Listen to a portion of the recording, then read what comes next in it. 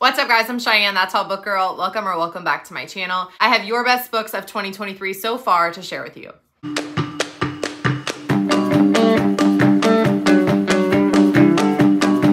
Obviously this is tentative because we're only going into March. So these are just your favorite books that you have read so far in 2023. Um, I feel like this is a good way for you guys to get five-star read recommendations from other people.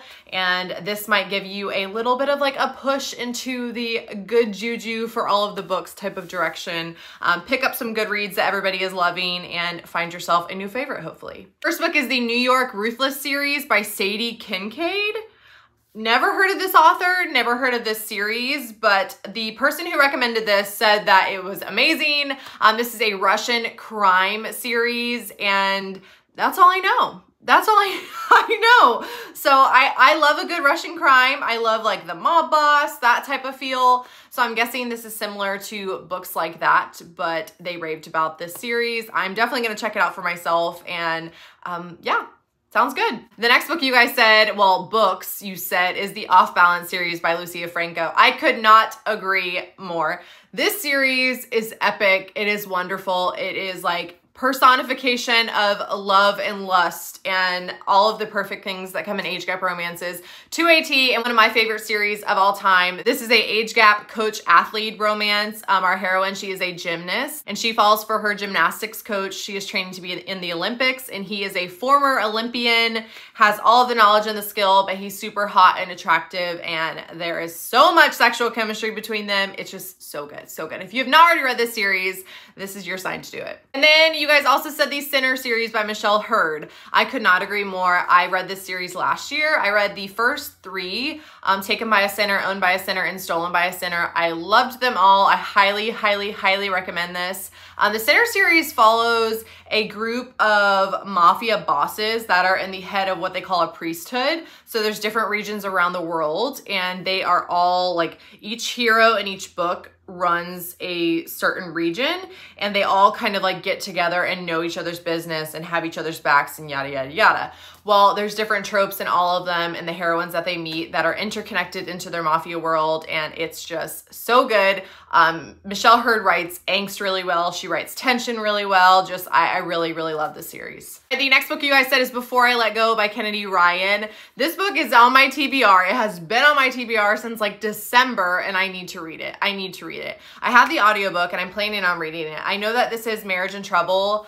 Um, I Kennedy Ryan is just incredible at her craft. So I know that this book is going to tear me apart and I feel like I have to be emotionally prepared for that, especially in marriage and trouble romances. Um, there's a certain level of angst and like emotion that is pulled out of you when you read a marriage and trouble romance.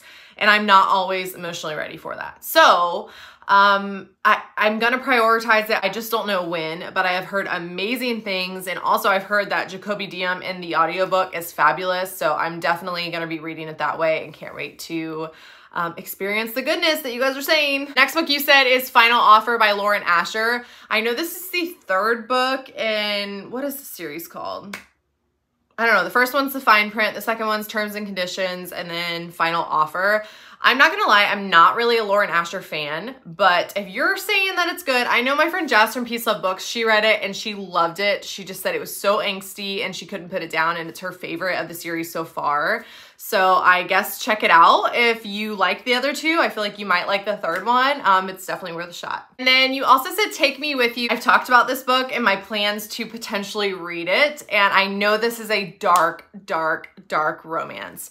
Um, the hero in this one, I don't even know if we should call him a hero because he's probably like the most morally gray effed up person ever. Um, he is a serial stalker rapist something like that. So super dark, super dark. I know that the triggers are triggers. I know that the triggers are heavy. Um, my friend McKay from Oh Hits McKay, she specifically was like, this is probably one of the darkest books she's ever read and but it was like surprisingly good. Like the psychological aspect of it is one of those ones that you feel like you're convinced that they should be together in this like sick and twisted way. And that's super intriguing to me but also super scary to me. So i don't know. And some of the triggers i feel like would definitely trigger me I just don't know if I'm ready yet, but I want to be ready, if that makes any sense. I don't know. All right, and the next book you guys said is A Daring Pursuit by Kate Bateman. I looked this one up because I was like, I do not know what this book is. This is a historical romance, enemies to lovers.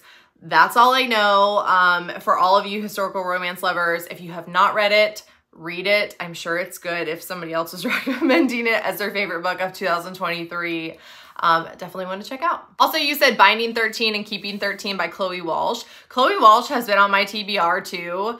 Um, I haven't put her on any of my TBR videos. I think she's one of those authors that every time I see her books, I'm like, oh crap, I really want to read those and I should read them, but I'm so intimidated by the size of her books. They are so long, so long. And if I'm being completely honest, normally when I read a book that is massive, and it takes me a long time to get into it. And that's what i'm fearful of is not being caught off the gate like not falling for it event like right away.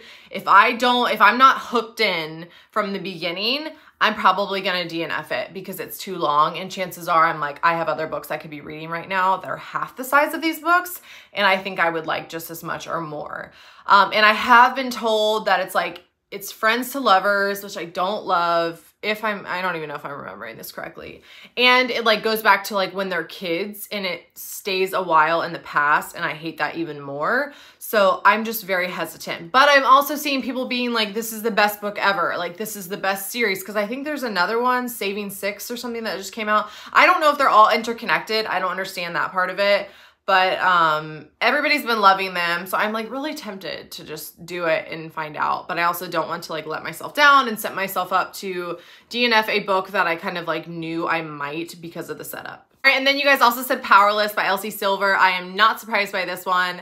Um, Powerless is a friends to lovers romance. Our hero, he actually rescues the heroine on her wedding day. She decides to flee and be a runaway bride, and they end up spending all this time together. Random little road trips, random um, here and there's from inside town. This is Elsie's Chestnut Spring series. This is the third one in that series.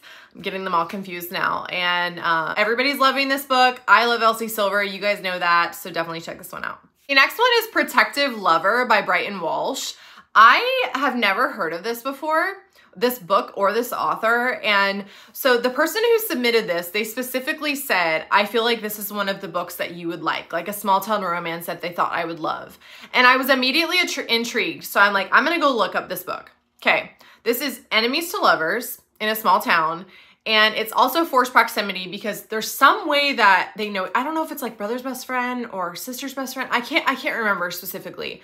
Um, but there's some type of connection between them where they end up having to live together. So there's forced proximity. But also like at the end of the blurb, it says that you know, he's been keeping it a secret on how much he loves her for so long. And then he's like ready to tell her until he sees her with him. Shoot. So I'm thinking like, is this a love triangle? Is this a love triangle? Because I can get down with a love triangle in a small town if that's what it is. Oh, the book is called Protective Heart. I gooned that. I don't know, but your girl's real tempted and I'm about to download this on KU because this sounds real good. All right, the next book you guys said is Lola and the Millionaires by Catherine Moon. Um, I actually read this. This was part of our Smut Club well, one of our Smut Club picks back in, I don't even know the month. This is an Omega verse, and it was my first personal one. I actually like thought it was really fun. Was it the best thing that I've ever read? No, but I can definitely see, and I've heard so many people loving on this series. So many people love Catherine Moon in general. So if you love Omega verse and you love like the reverse harem type of feel too, I definitely recommend this as well. Um, super smutty, a good spicy time. And the next book you guys are loving is The Duke Gets Even by Joanna Shupe.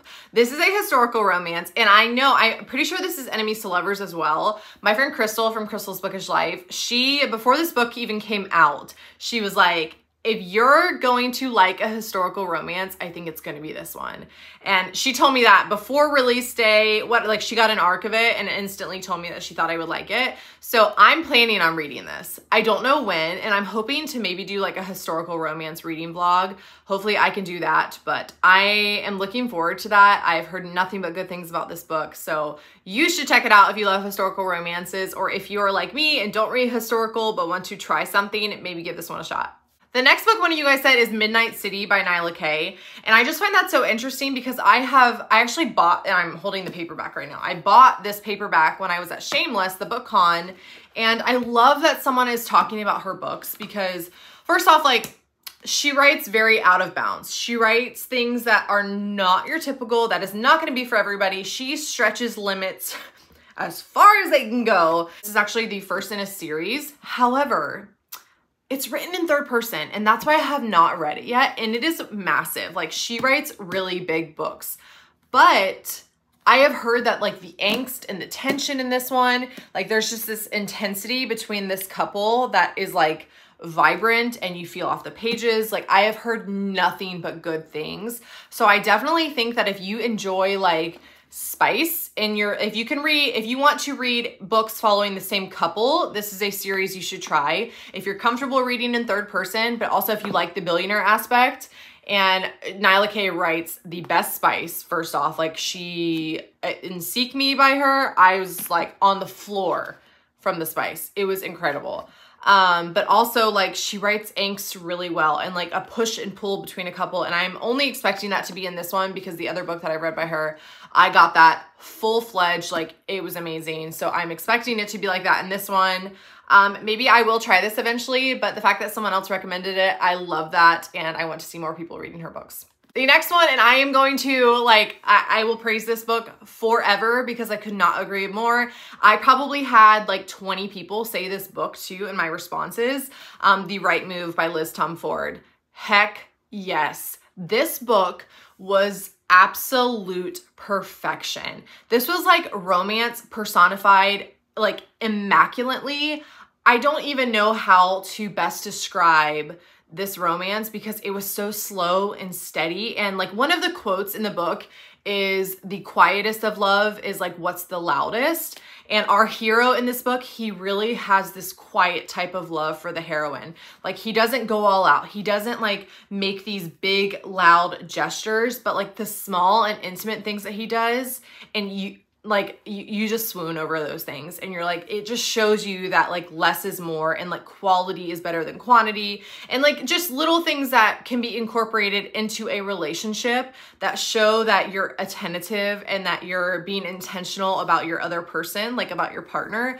And Ryan Shay is absolute perfection. So he has this quiet love for the heroine Indy and it is so beautiful. So beautiful. I was just swooning the entire time. Like I remember even being in Di at Disney and I was finishing it up and be like, Sam, this part, he's braiding her hair he's braiding her hair. Like just things like that. And you're like, oh my God, you are perfection. You are perfection. So this book, I could not agree more. I'm so excited for All Caught Up. I think that's what it's called to be the next one that's released in June because that is a baseball romance. Holler. Baseball romance, y'all. Baseball romance. So really excited for that one. Definitely read The Right Move if you have not read it already. Then coming in hot is Hawk by Jessa Hall. I have been talking about this book all month. You guys know how much I love this. It's probably going to be in the top 10 of the year for me. Um, this book was absolute perfection. I love it. A forbidden um, boyfriend's friend who is out of prison, fresh out of prison. He's living with them. There's cheating. There's all of the messiness that comes with that. And it was absolute perfection. I could not recommend this enough. And I fully agree that it deserves to be on this list. And then we have Broken Bonds by J Bree, probably this whole series. Um, I feel like if you're one of those people that read the first book and you love it, the entire series pulls through and it's like this obsession that you can't stop. I have read this series, did not love it. I thought the first book was like the best out of the two and a half that I read. But my friend Jess from Honest Fiction, she loves this series. And I think that um, it's very addicting. It's a reverse harem, but it's a slow burn reverse harem. She really does form these like strange relationships with these guys, but also like there's so much potential in what each one has to offer her that it just makes it very intriguing. So definitely think you should check this out, especially if you love like a little more lighter on the fantasy side, um, plus reverse harem and like angsty tension between a bunch of men. I think this book would be for you. Well, this series would be for you. Then we have Mr. Romance by Leisa Rayven. I love to see people talking about this book. This is one of my all-time favorite books and I feel like it's so underrated. I, I talk about it every chance I get because it is amazing. Um, our heroine in this, she is a journalist and she's trying to find this like breaking story. So she looks into researching Mr. Romance and Mr. Romance is our hero, Max. Um, Max's job is to romance women into like giving them all of their romantic fantasies. And when our heroine Eden, when she goes to interview him, she is not convinced. She does not believe in love. She knows she will never fall in love. She doesn't want anything to do with it. And Max is like, give me three dates to convince you that what I do works and you might fall in love with me in the meantime. But it's Hero Falls First because he falls head over heels for her and it is beautiful. I just love this book so much. So I 1000% agree. This is such a good read. If you have not read it or if you're planning on reading it, please prioritize it because it is worth the hype. And the last book that a lot of you said is The Optimist's Guide to Heartbreak by Jennifer Hartmann. Um, I have had a lot of friends who have read this book and loved it. I know this is like the first one in the duet. Is this the Heartbreak duet or something? I don't know. I might have just made that up. Um, Jennifer Hartmann's books are emotionally damaging. They are gripping. They are beautiful. And I am fully expecting that in this one. I'm going to be completely honest. I have no idea what this book is about. And I even read the blurb and I'm like, what did I just read? What was that supposed to tell me what this was about? Because it did not feel like that. Um, but my friend Jess from Peace Love Books, she said that this was so angsty. And I know Caitlin from the Love Librarian, she loved this series as well. So I I'm gonna read it. I'm gonna read it. I just don't even know what lead to go off of because I have zero idea of what this book is about. But the fact that you guys are reading it and loving it, and I think just because it's a Jennifer Hartmann book, you just can go into it blind and expect nothing but the best. And that seems to be what's been delivered by it. So I'm excited to check it out and make sure you add it to your TBR as well. All right, guys, so that is all I have for your favorite books of 2023 so far. I had so many duplicates on a lot of these, especially like Powerless, The Right Move, all of the ones that you have been hearing about all over TikTok and Instagram and BookTube as well. Um, people are just really loving a lot of these new releases and rightfully so. They have been amazing, but I love hearing a lot of like new ones and ones from like smaller indie authors that aren't talked about that much. So hopefully this gives you a chance to check out some new books, add some new books to your TBR, hopefully find some new favorites. Thank you guys so much for watching. Thank you for um, being here and listening to me ramble. Drop in the comments below and give me a like 100 sign if you've made it this far in the video. Give me a 100 like emoji, whatever you call it. I don't even know what to call it, guys. I don't even know what to call it. Um, drop that in the comments and don't forget to like, comment, subscribe, and I will see you next time. Bye, guys. That made no sense. I told you to comment twice. Just don't forget to like and comment. Leave a 100 sign. Thank you for being here. You're the best. Love you.